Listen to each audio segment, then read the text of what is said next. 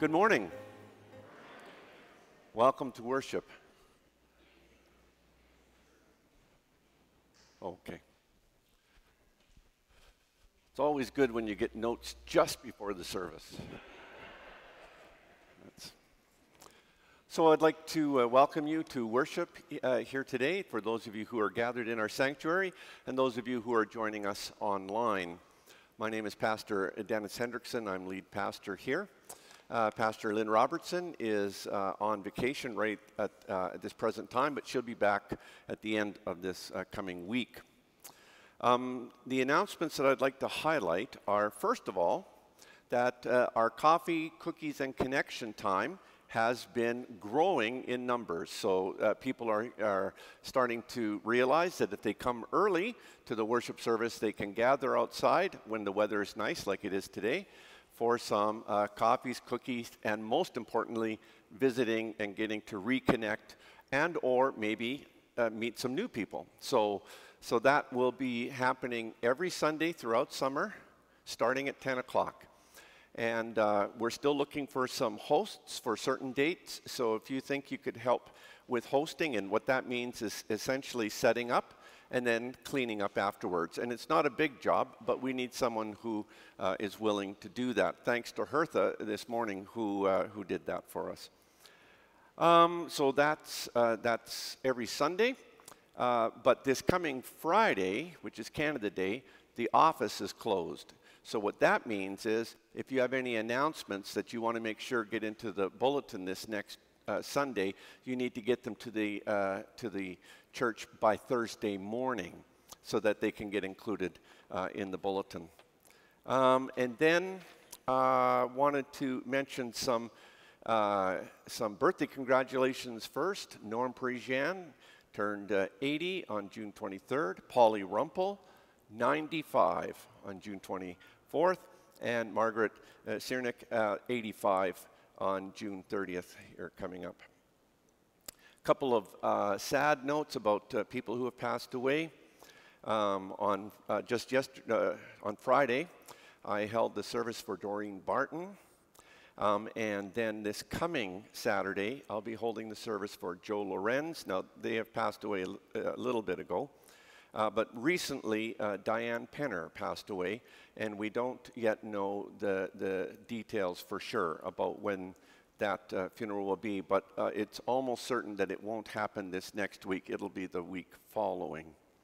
So um, just uh, watch the announcements for that. There are lots of other announcements on the sheet here, so I'll just ask you to read through them carefully. But uh, let's take a few minutes now of quiet reflection, and then uh, we'll begin our worship together. Um, Jim or Solange, I need the uh, TV turned on up there, the monitor. Yeah, thank you.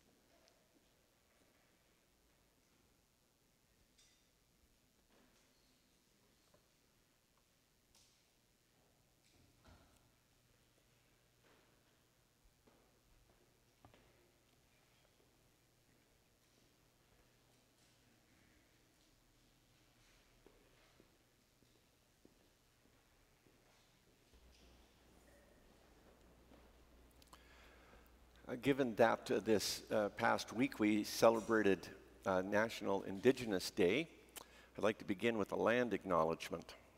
Christ Lutheran Church is located on Treaty 4 land, the original lands of the Cree, Saulteaux, Dakota, Lakota, and Nakota, and the homeland of the Metis Nation. This land acknowledgement is a recognition of the shared histories of Indigenous and non Indigenous peoples on this land and a reflection of our commitment to the continuing act of reconciliation needed for our shared future together. I'll invite you to stand for the confession and forgiveness. In the name of the Father, and of the Son, and of the Holy Spirit.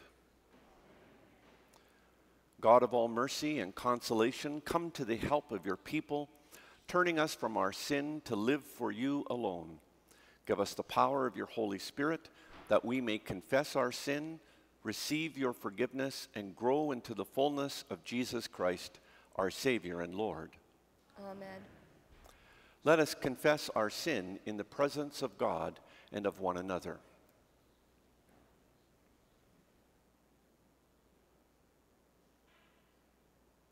Most merciful God, we confess that we are captive to sin and cannot free ourselves. We have sinned against you in thought, word, and deed by what we have done and by what we have left undone. We have not loved you with our whole heart. We have not loved our neighbors as ourselves. For the sake of your Son, Jesus Christ, have mercy on us. Forgive us, renew us, and lead us, so that we may delight in your will and walk in your ways. To the glory of your holy name. Amen. In the mercy of Almighty God, Jesus Christ was given to die for us, and for his sake, God forgives us all our sins. As a called and ordained minister of the Church of Christ, and by his authority, I therefore declare to you the entire forgiveness of all your sins. In the name of the Father, and of the Son, and of the Holy Spirit. Amen. Amen. We'll sing our gathering song, O Master, Let Me Walk with You, verses 1, 3, and 4.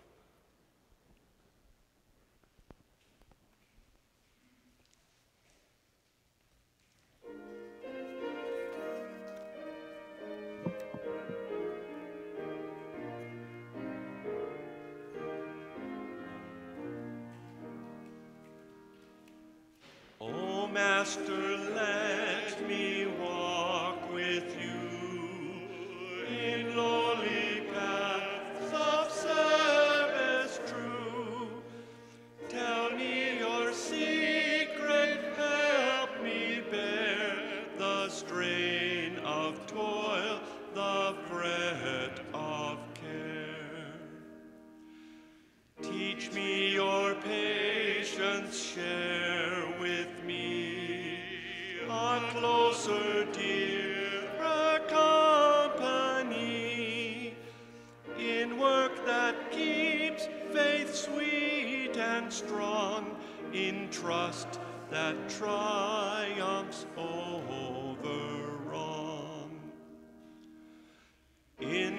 that sends a shining ray far down the future's broadening way, in peace that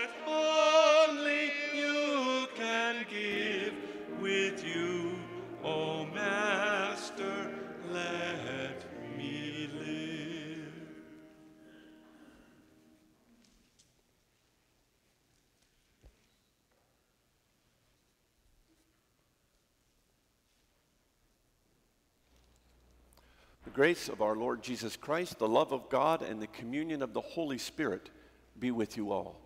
And also with you.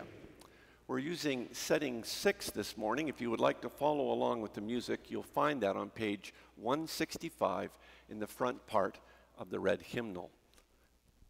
Just like I'm going to get right now.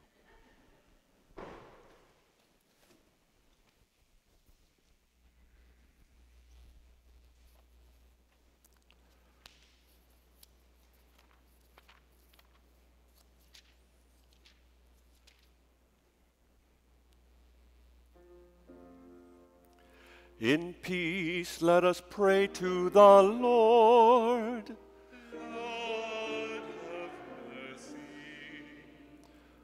For the peace from above and for our salvation, let us pray to the Lord. Lord, have mercy. For the peace of the whole world, for the well being of the church of God, and for the unity of all, let us pray to the Lord. Lord, have mercy. For this holy house, and for all who offer here their worship and praise, let us pray to the Lord. Lord,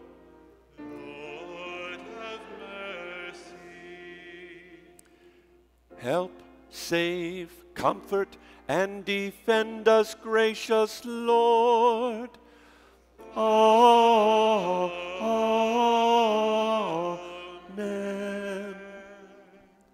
Glory to God.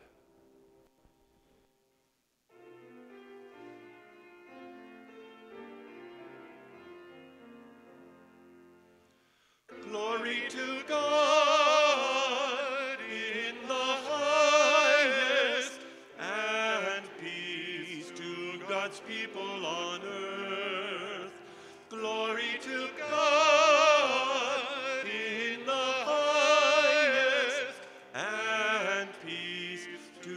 God's people on earth. Lord God, heavenly King, Almighty God the Father, we worship you, we give you thanks, we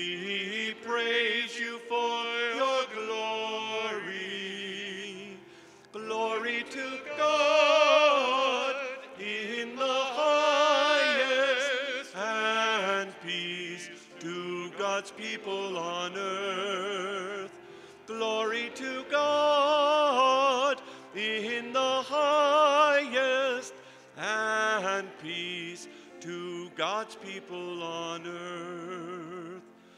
Lord Jesus Christ, only Son of the Father, Lord God, Lamb of God, you take away the sin of the world.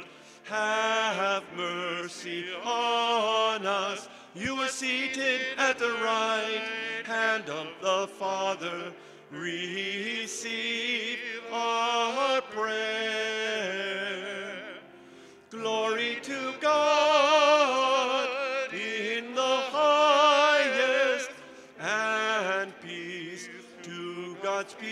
On earth. Glory to God in the highest, and peace to God's people on earth. For you alone are the Holy One. You alone are the Lord. You alone are the Most High. Jesus Christ with the Holy Spirit in the glory of God the Father. Glory to God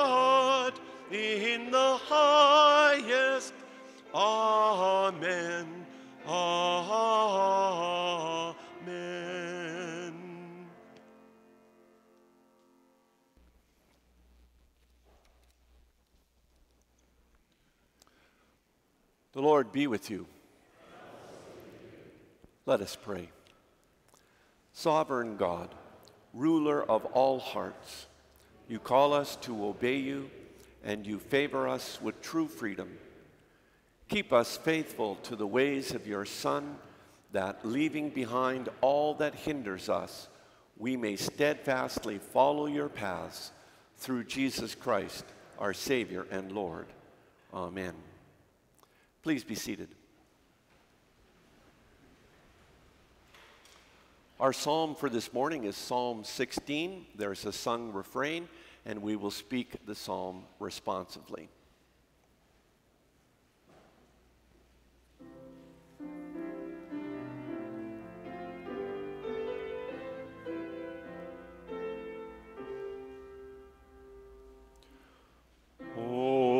One, our hearts are glad and our spirits rejoice.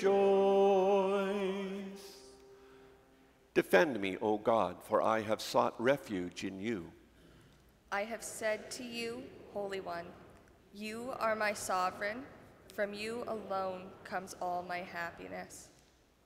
All my delight is in the faithful who live in the world. and in the noble ones among the people. But those who pursue other gods shall be in painful trouble. Their liberations of blood I will not offer, nor take the names of their gods upon my lips. Holy One, our hearts are glad and our spirits rejoice. Holy One, you are my allotted portion and my cup. You alone uphold my destiny. Pleasant are the lands that have, be, that have fallen to me. My inheritance is beautiful. I bless you, Holy One. You guide me and nightly instruct my inner being. I set you always before me. With you at my right hand, I cannot fall. Oh, Holy One, our hearts are glad and our spirits rejoice. Therefore, my heart is glad, my spirit rejoices, my body can live securely. For you have not abandoned me to the grave, nor allowed your faithful one to be seen in the pit. You teach me life's path. In your presence is fullness of joy. At your right hand, pleasures forevermore. Holy One, our hearts are glad and our spirits rejoice.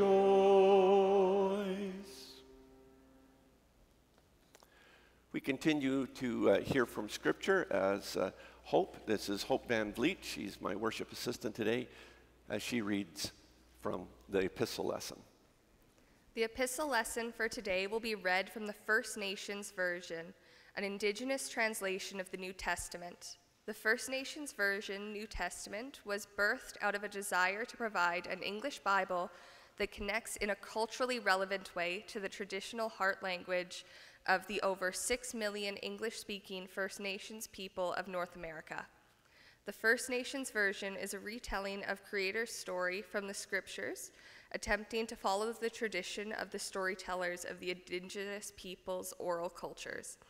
It is not a word for word translation, but rather it is a thought for thought translation, sometimes referred to as a dynamic equivalence translation.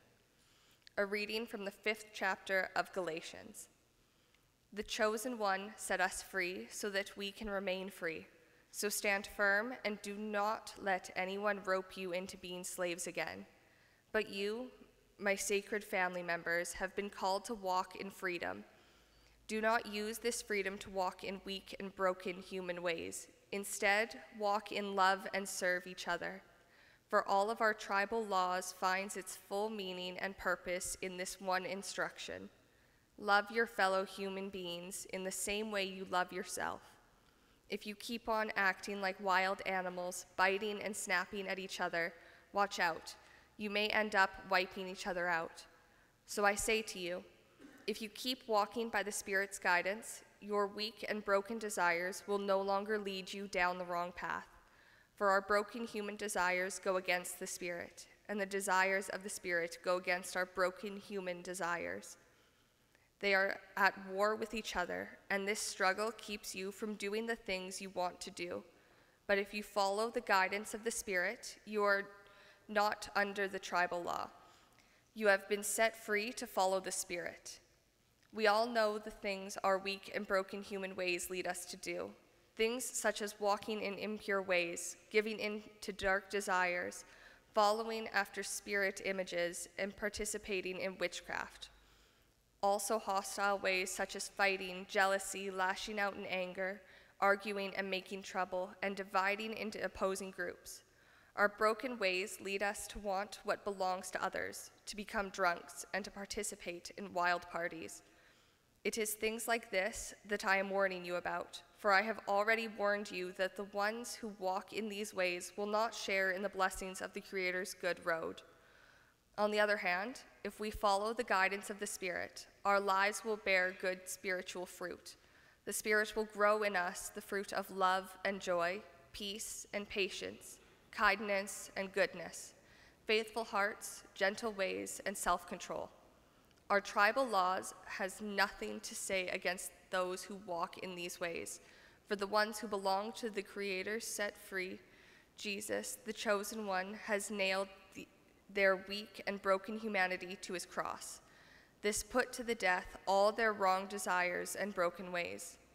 Since our life comes from the Spirit, let us dance in step with the Spirit and follow the Spirit's guidance. Here ends the reading. Inspire our understanding, Spirit of God.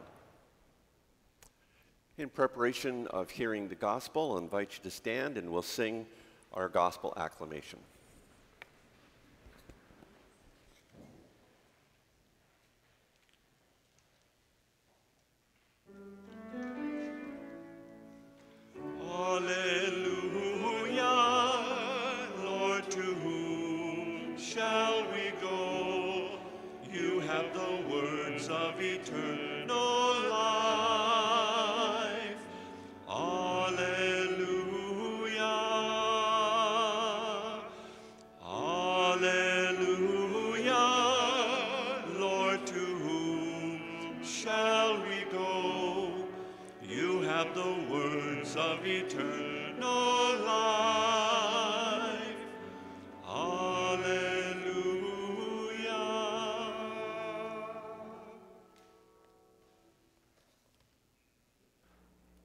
Gospel according to Luke, the ninth chapter. Glory to you, O Lord. As the time approached when Jesus was to be taken up into heaven, he determined to go to Jerusalem. He sent messengers on ahead of him. Along the way, they entered a Samaritan village to prepare for his arrival. But the Samaritan villagers refused to welcome him because he was determined to go to Jerusalem. When the disciples, James and John, saw this, they said, Lord, do you want us to call fire down from heaven to consume them? But Jesus turned and spoke sternly to them, and they went on to another village. As Jesus and his disciples traveled along the road, someone said to him, I will follow you wherever you go. Jesus replied, Foxes have dens, and birds in the sky have nests, but the human one has no place to lay his head. Then Jesus said to someone else, Follow me. He replied, Lord, first let me go and bury my father. Jesus said to him, Let the dead bury their own dead, but you go and spread the news of God's kingdom. Someone else said to Jesus, I will follow you, Lord, but first let me say goodbye to those in my house. Jesus said to him, No one who puts a hand on the plow and looks back is fit for God's kingdom. The gospel of our Lord. Praise to you, O Christ. Please pray with me. Gracious God, as we reflect on these scriptures, we ask that your Spirit would be with us to inspire and encourage us, that we might come to a deeper understanding of our place in your, role, in your realm and your place in our hearts. For we ask this in Jesus' name. Amen.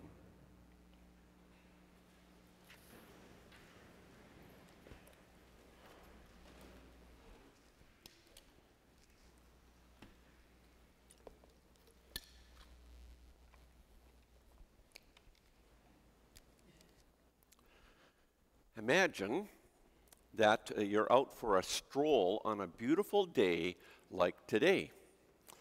And as you're walking along, you encounter someone who proclaims, I just saw Jesus walking with his disciples. You might well ask, which way was he walking? Now, there's actually two ways to answer that question. Could speak of the manner in which a person is walking, or one could speak of the direction that one is walking. And both answers tell us something about that person. So, the manner in which a person walks might indicate how they're feeling, or what their intentions are, or whether they're on a mission or just wandering around. So, let me give you a few examples. So if you came across someone who was walking like this, you might think either they're late for the Rider game or they've got an important thing to do. They're, they, they know where they're heading, they know what they're doing. Or imagine if you come across someone who's walking like this. Well, you would very quickly determine that they're very sad, that uh, you know maybe some they've received some bad news, um, and and they're not in a hurry to get anywhere because they're just uh, you know overwhelmed by grief. Or you might find someone who's uh, walking like this. then you know someone is out for a stroll and they're just enjoying you know, the beautiful uh, uh, world around them, and, uh, and they have nothing particular that they are needing to do, and so on and so forth. So, so the way that we walk indicates one thing, okay? But we can also talk about the direction. And the direction that a person is walking in might indicate what their goal is. So, for the person who's late for the Rider game, their goal is to get to Mosaic Stadium, right? Um, but it could be something very different, a very different kind of goal. Maybe they're rushing uh, to get home uh, because uh, they're expecting to meet someone there, or or maybe they're they're uh, you know determined to get to a job interview. There's all kinds of different possibilities. You know, if they're if they're heading into an office building, well, maybe they've got a, uh, you know some sort of business meeting in there, or if they're heading into the grocery store, well, they're doing their shopping. I mean, like we kind of figure out what they're doing uh, by where they're walking and where they're heading. The Apostle Paul tells the Christians in Galatia, that's a province in Asia Minor, that with the Spirit's guidance, they should walk the way of Jesus. And this admonition from Paul is both about the manner in which we live or walk and what directions our lives should be taking. So I'm going to look at this passage from Galatians in detail, and I'm going to use the uh, uh, Indigenous uh, First Nations translation because I loved the way that it put this. So, first of all, Paul says, My sacred family members, you have been called to walk in freedom. So, the, the very first sense we get is that this is movement, this is a life that is lived not under the restriction of laws or expectations or whatever, but there's a freedom that comes with walking in Christ.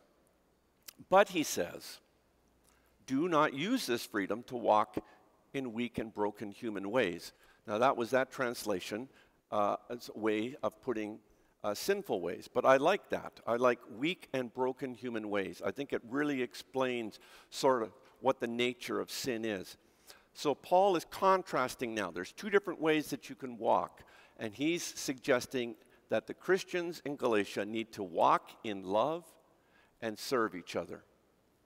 To walk in love and serve each other. So that tells them where they're walking and how they're walking. So they're, they're walking towards their neighbor to serve them. And they do that in love. So that's the manner and the direction in which they walk. Then uh, Paul says, if you keep walking by the Spirit's guidance, your weak and broken desires will no longer lead you down the wrong path. I don't know if you've ever been on a trip where uh, you suddenly realize that you are completely on the wrong road, right? And then you ask the question, how do we get back to the right road? And uh, these days you might ask your directions and you know it, it just might tell you it's recalculating or something like that, right? But I remember the olden days pulling out maps and unfolding them, you know, and then trying to figure out where are we and where do we need to be. We don't like to head down the wrong path because it will take us further away from where we want to be. And that's what Paul is suggesting to the Galatians. You know, you don't want to be led down the wrong path. And that's an expression we have, isn't it? you know, uh, we don't want to be led down the wrong path, meaning, uh, you know, led into certain kind of behavior and attitudes that will actually take us away from something good and godly. Paul continues We all know the things our weak and broken human ways lead us to do. And then he names these things, such as walking in impure ways. What I like about this translation is it's making everything dynamic. That it's, it's, it's this idea that, that walking in impure ways is it's something we're doing. It's not just a, a passive part of our lives. This is something that is taking place in our life and it's impacting everything in us and around us. So then he goes on to list uh, some of these things that walking in impure ways uh, entails giving in to dark desires. Now, what does that mean? I think all of us have probably had occasions where there, we were tempted to respond to a person or a situation in a way that we knew wasn't appropriate, but boy, we wanted to do it, right? Like when I see really idiotic driving on the highways, on the roads, right? Uh, uh, you know, there's part of me that just wants to cut that person off or, or shake my fist at them when I drive by them or whatever. Let me tell you the one that got me the other day, just so you know I'm just as bad as you. I was riding my bike on the bike path along the Lewvan, and, uh, and there's a fire truck that's coming in, and sirens are blazing, and the people in front of the fire truck are not pulling over. So I'm literally yelling at the cars. Yes, I, I yell at cars, and I speak to animals when I ride my bike. I do this all the time. And I'm saying, Would you pull over, you idiots? You know, and, and if I had had a chance to meet them in person, I might have even said something like, How could you be so stupid? The fire trucks behind you had to honk the horn so that they would move over. Okay, see how worked up I got? And that's a, that's a pretty benign example, but boy, we've got lots of examples, especially when we've been hurt. The temptation is to hurt back, right? That's giving in to dark desires. And then he continues hostile ways such as fighting, jealousy, lashing out in anger, arguing, and making trouble. And this last one I think is particularly significant in this day and age dividing into opposing groups. We live in a polarized world, and, uh, and we're not trying to meet people in the middle. We are trying instead, all too often, to identify do they belong to the same group that I do? If they don't, they're enemies, and I hate them. Like, this is, this is the rhetoric that's flying around out there, right? This sense of being able to have conversations, uh, even if we disagree on certain ideas or policies or whatever, right? That seems to be evaporating. And uh, uh, so dividing into opposing groups. What is that? That's walking in impure ways. Our broken ways also lead us to want what belongs to others, to become drunk and to participate in wild parties. What I think is interesting about this passage, this part of the passage, is that when I was a teenager, it was the second part that was always emphasized, you know, stuff about drunk, becoming drunk and the wild party stuff. But you know what's just as significant is wanting what belongs to others, or as the Ten Commandments puts it, coveting, right? Because coveting is what leads us to be dissatisfied, and when we're dissatisfied, then we seek to obtain those things that we want, sometimes through ways that, and manners that are not appropriate whether it's stealing or lying about stuff or cheating, um, you know, or whatever it might be, right? And our focus becomes fixed on the wrong thing. So, Paul continues The ones who walk in these ways will not share in the blessings of Creator's good road. That's the end result. The end result is that we won't share in the blessings. That God has blessings in store for us, but if we go up on this path, we're going to miss the blessings because they're not on that path. They're on this other path. And so we need to be cautious about what path we're walking down. Then Paul continues. On the other hand, so now we get the flip side, hey? On the other hand, if we follow the guidance of the Spirit, our lives will bear good spiritual fruit. The Spirit will grow in us the fruit of love and joy, peace and patience, kindness and goodness, faithful hearts, gentle ways, and self control. Then he says, our tribal law, or in this case, this would be like the, the Old Testament law, has nothing to say against those who walk in these ways. In other words, if we live bearing the fruit of the Spirit, that is, we live functioning out of, walking in love and joy, peace and patience, kindness and goodness, with faithful hearts and gentle ways and self control, there is nothing in that life that is contrary to what God wants.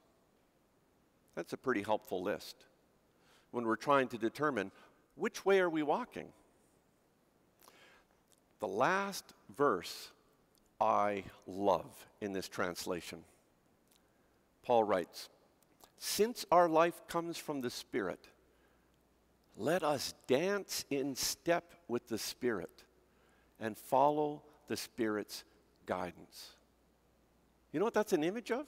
That's an image of, you know, when you're dancing, someone is, is the lead and someone is the follower, and uh, it's saying, follow the lead. And when you do that, your joy, like if you're following the lead, then you're not tripping over each other's feet and so on and so forth, right? And, um, and it's, it's a, a much more enjoyable experience. See, the, the path that God wants us to follow, the path that God wants us to go on, is a path that leads to joy. Is a path that leads to joy. We can dance in step with the Spirit.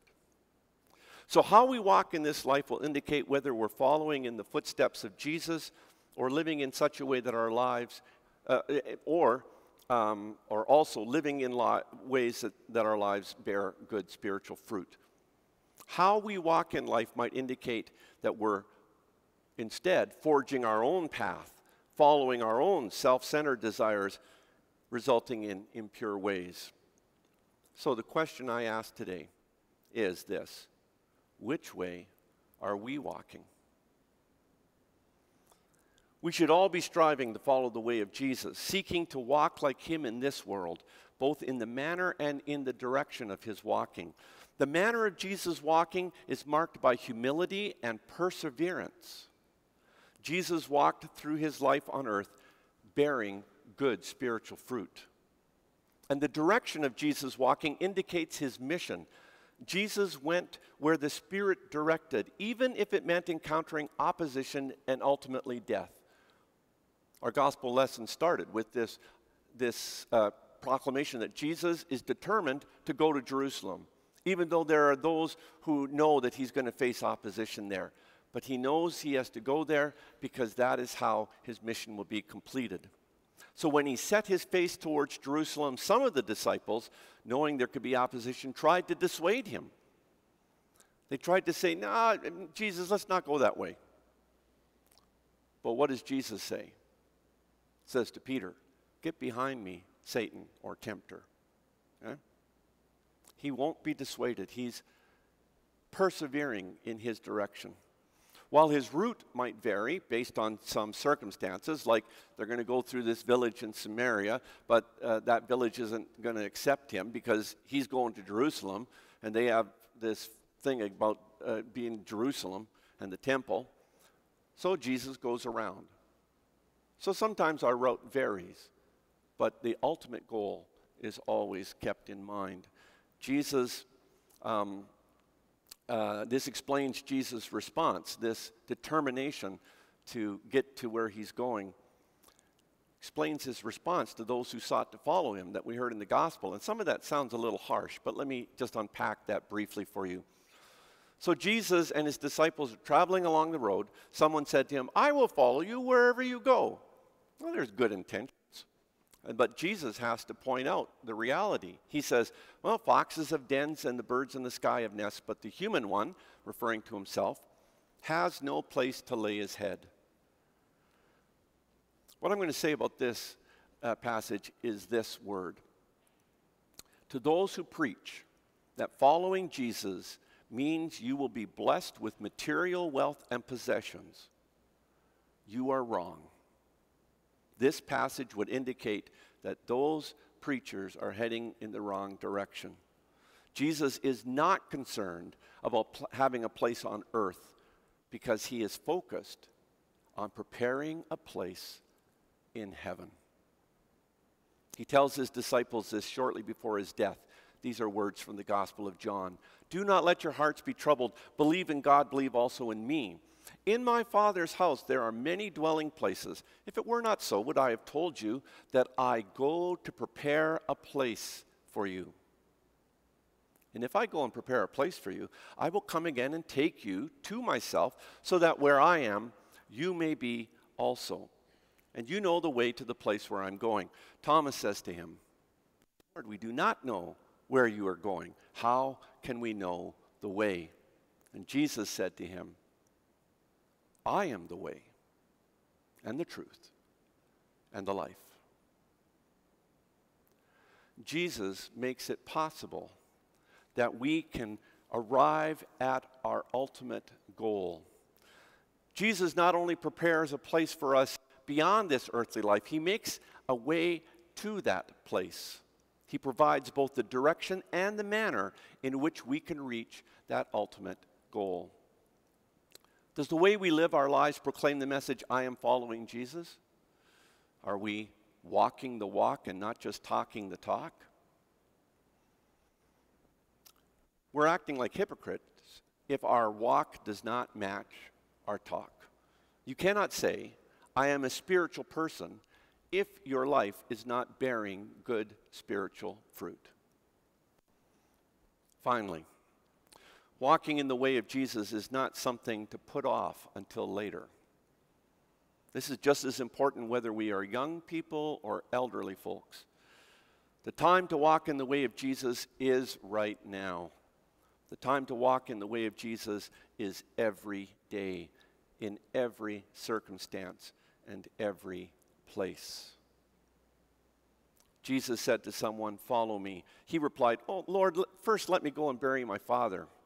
Someone else said to Jesus, I will follow you, Lord, but first let me say goodbye to those in my house. Walking in the way of Jesus should be our first priority. And that's the problem with these responses from these people. It's like, yeah, that's a good idea you got there, Jesus, and uh, you just go on ahead and I'll catch up to you sometime. Well, then you're already missing the path that Jesus is making for us. And so that's why the strong responses to these people that seem almost harsh and unfeeling. But what Jesus is really saying is your first priority should be walking in the way of Jesus. And then all the rest will fall into place.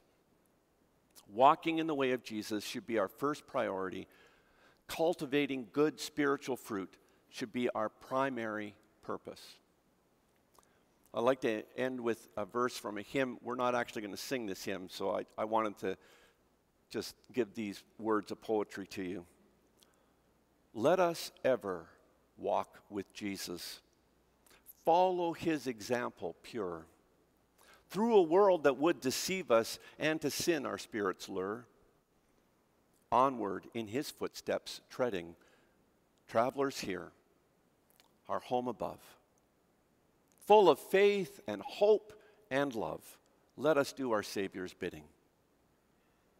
Faithful Lord, with me abide, I shall follow where you guide. Amen.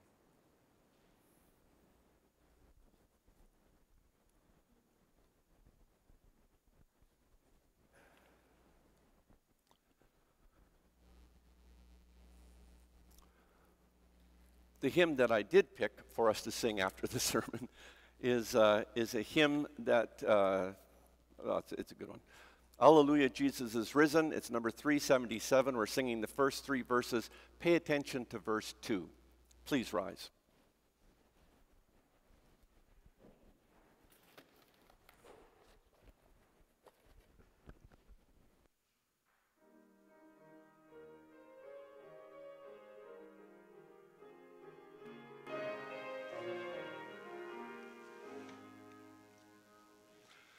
Hallelujah, Jesus is risen.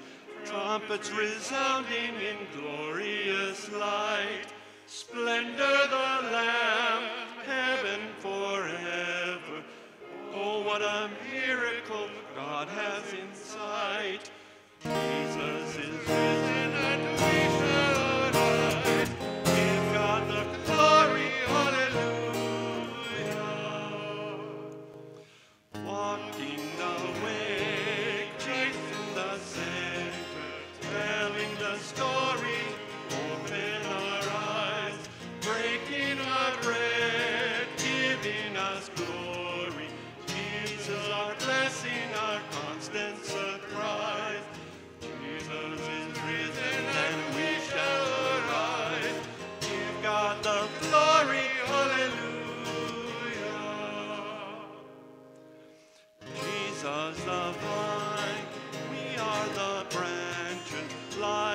the spirit, the fruit of the tree.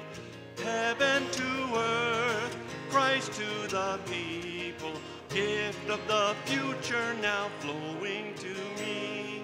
Jesus is risen and we shall arise. Give God the glory, hallelujah.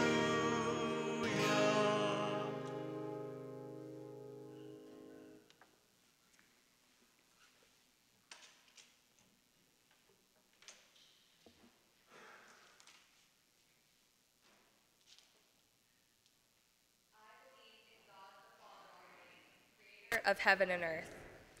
I believe in Jesus Christ, God's only Son, our Lord, who was conceived by the Holy Spirit, born of the Virgin Mary, suffered under Pontius Pilate, was crucified, died, and was buried. He descended to the dead. On the third day he rose again. He ascended into heaven. He is seated at the right hand of the Father, and he will come to judge the living and the dead. I believe in the Holy Spirit, the holy Catholic Church, the communion of saints, the forgiveness of sins, the resurrection of the body, and the life everlasting. Amen. Please be seated for a time of prayer.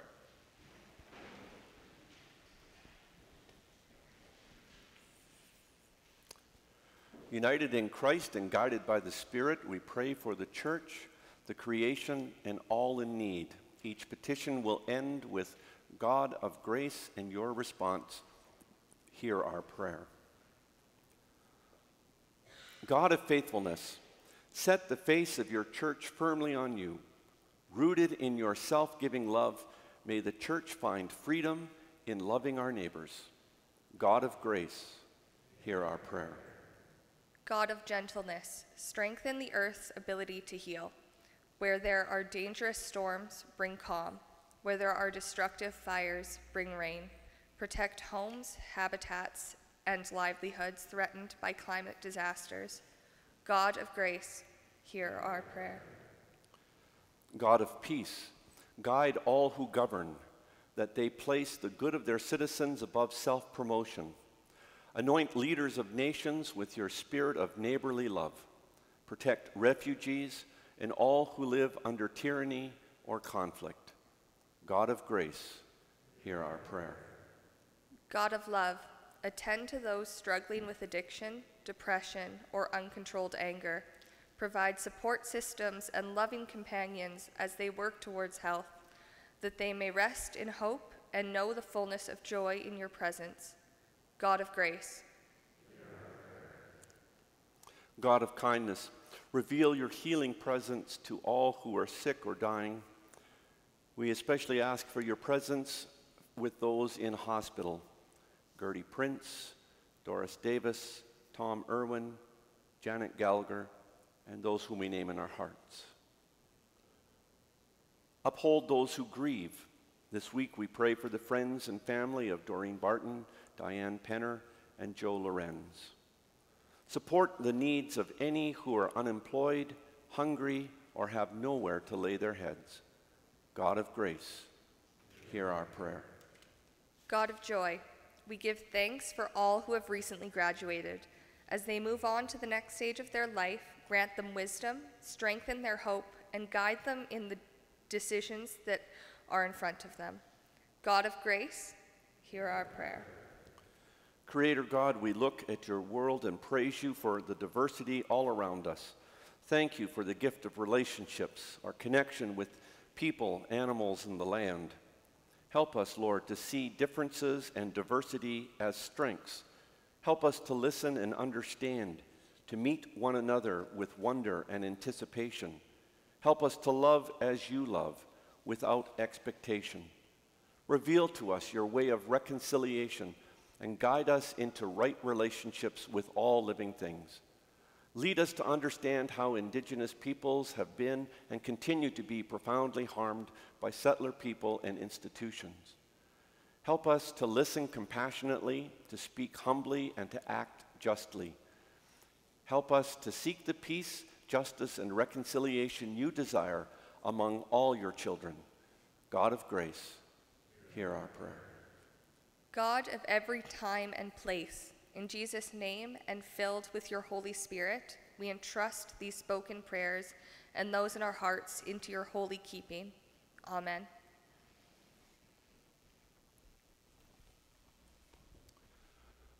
For those of you who haven't been here for a while, uh, you'll realize that we're not going to be passing plate offering. We have it up here at the front. Um, so if you haven't already placed your offering in the plate, uh, you can do that to, perhaps when you come up for communion. And a few words about communion here before we begin. Uh, there will be, uh, uh, we'll ask you to come forward, and there will be two people with bread, and they will drop into your hands. So cup your hands, drop into your hands a piece of bread. Then you step to the side and lift your mask up and consume the bread. Then you step one more, and uh, either myself or Hope will be there with the tray filled with uh, wine and grape juice. The grape juice is in the center, it's the light colored. Um, you take what you prefer and, uh, and then step to the side and drink that. And then on the way back to your place, there's baskets at the corner for you to place your empty glasses in. For the offerings that we have received and that we will uh, also receive later, I will offer this prayer. God of abundance, you have set before us a plentiful harvest. As we feast on your goodness, strengthen us to labor in your field and equip us to bear good fruit for the good of all. In the name of Jesus, amen. We turn now to the great thanksgiving. I'll invite you to stand.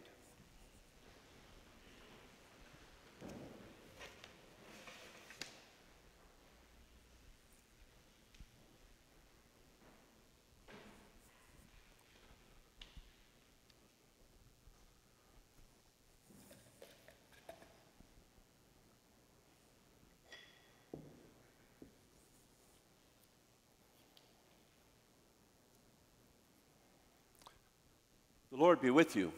And also with you. Lift up your hearts. We lift them to the Lord. Let us give thanks to the Lord our God. It is right to give our thanks and praise. It is indeed right, our duty and our joy, that we should at all times and in all places give thanks and praise to you, Almighty and merciful God, through our Savior Jesus Christ, who on this day overcame death and the grave, and by his glorious resurrection opened to us the way of everlasting life. And so, with all the choirs of angels, with the church on earth and the hosts of heaven, we praise your name and join their unending hymn.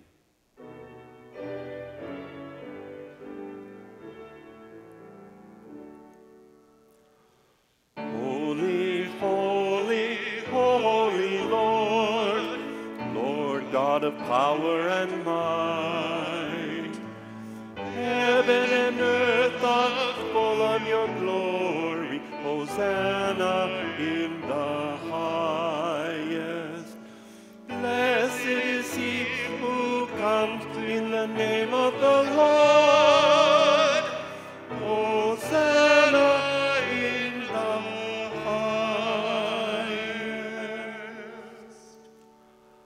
God, you alone are holy, you alone are God. The universe declares your praise beyond the stars, beneath the sea, within each cell, with every breath. We praise you, O God. Generations bless your faithfulness through the water, by night and day, across the wilderness, out of exile, into the future. We bless you, O God. We give you thanks for your dear Son at the heart of human life, near to those who suffer, beside the sinner, among the poor, with us now. We thank you, O God. In the night in which he was betrayed, our Lord Jesus took bread and gave thanks, broke it, and gave it to his disciples, saying, Take and eat. This is my body given for you. Do this for the remembrance of me. Again, after supper, he took the cup and gave thanks and gave it for all to drink, saying, This cup is the new covenant in my blood, shed for you and for all people for the forgiveness of sin. Do this for the remembrance of me. Remembering his love for us on the way, at the table, and to the end, we proclaim the mystery of faith. Christ has died. Christ is risen. Christ will come again. We pray for the gift of your Spirit in our gathering, within this meal, among your people throughout the world. Blessing, praise, and thanks to you, Holy God, through Christ Jesus by your Spirit in your church without end. Amen. Gathered into one by the Holy Spirit, let us pray as Jesus taught us. Our Father in heaven, hallowed be your name. Your kingdom come, your will be done on earth as in heaven. Give us today our daily bread. Forgive us our sins as we forgive those who sin against us. Save us from the time of trial and deliver us from evil. For the kingdom, the power, and the glory are yours, now and forever. Amen. Please be seated. We'd just like to be clear that this uh, at Christ Lutheran, Lutheran we practice an open communion table, which means if you would like to come and receive, you are welcome to do so. I'll ask our communion assistants to uh, come forward now, and then uh, the usher will usher you forward. We'll sing the Lamb of God.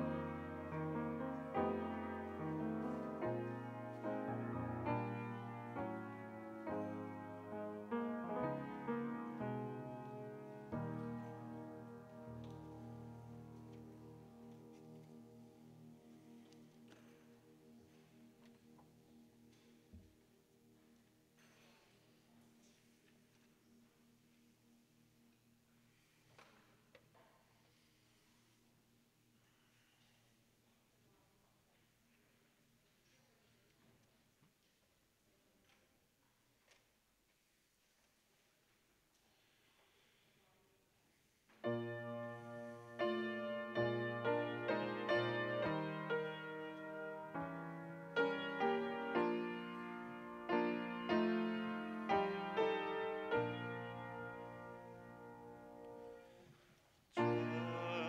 a closer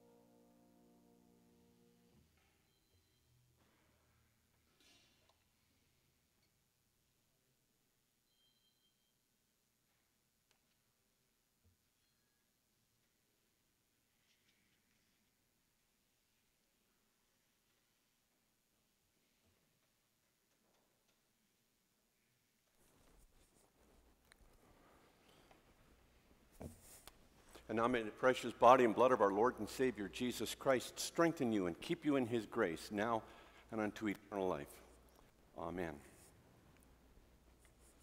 God of abundance, with this bread of life and cup of salvation, you have united us with Christ, making us one with all your people. Now send us forth in the power of your Spirit, that we may proclaim your redeeming love to the world and continue forever in the risen blood of Jesus Christ, our Lord. Amen. Today, uh, we say farewell and Godspeed to a family who will be leaving Regina to start a new chapter of their lives in Florida.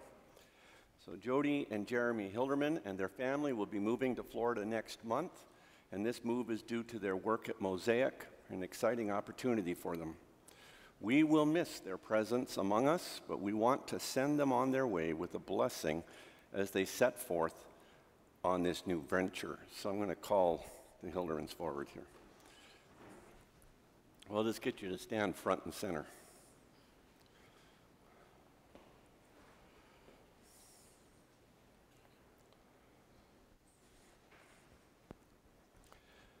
Jeremy, Jody, Peter, Molly, and Carl, as you leave our congregation and city, we wish to bid you farewell. A reading from Exodus. The Lord said, I am going to send an angel in front of you to guard you on the way and to bring you to the place that I have prepared. In holy baptism, our Lord Jesus Christ received you and made you members of his church. In this community, you have come to know and share in God's loving purpose for you and for all creation. God has blessed you in this community, and God has blessed us through you. Let us pray. Gracious God, we thank you for the work and witness of your servants, Jody and Jeremy, who have enriched this congregation and shared their gifts with their friends and family. Now bless and preserve them at this time of transition. Day by day, guide them and give them what is needed friends to cheer their way and a clear vision of that to which you are now calling them. By your Holy Spirit, be present in their pilgrimage that they may travel with the one who is the way, the truth, and the life, Jesus Christ our Lord. Amen. And a blessing for you, the family. I send you with this blessing. Go forth now in the faith which overcomes the world, in the hope which will not disappoint, and in the love which never fails. You are ambassadors of Christ, and He is always with you grace, mercy, and peace from Father, Son, and Holy Spirit bless, preserve, and protect you all this day and forever. Now, we have a couple of gifts we'd like to present.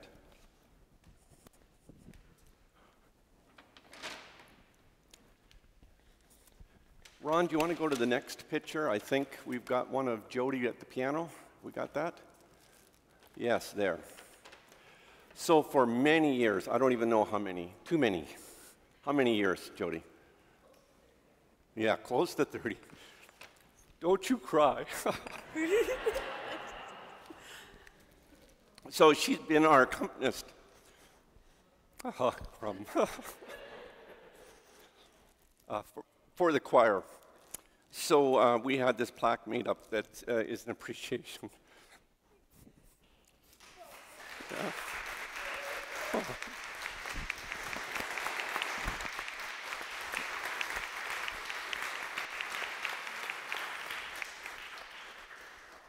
but we didn't want the rest of you to feel left out.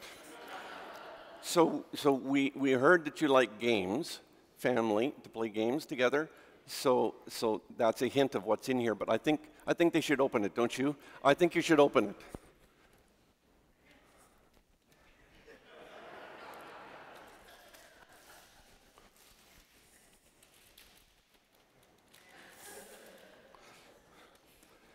So it's Reginaopoly.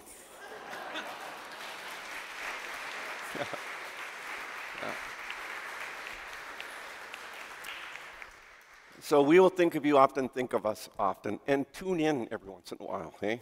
And uh, blessings on your travels. So thank you. You can be seated.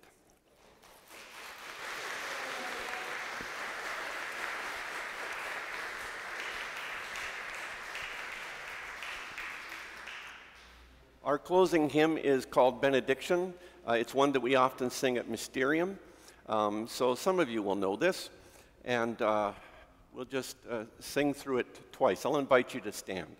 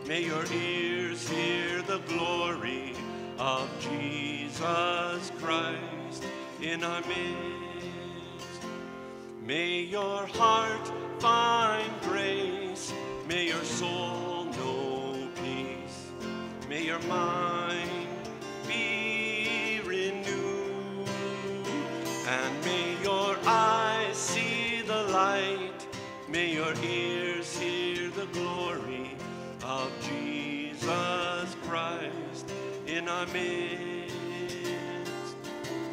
Jesus Christ in our midst.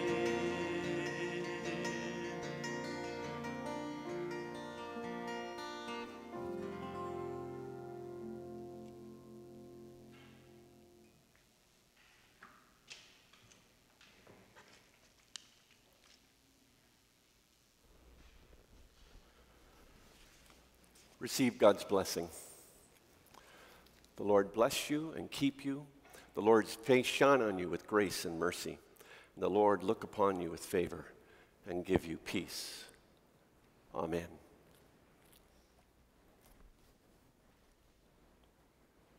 Go in peace, inspired by the risen Christ, to love and serve.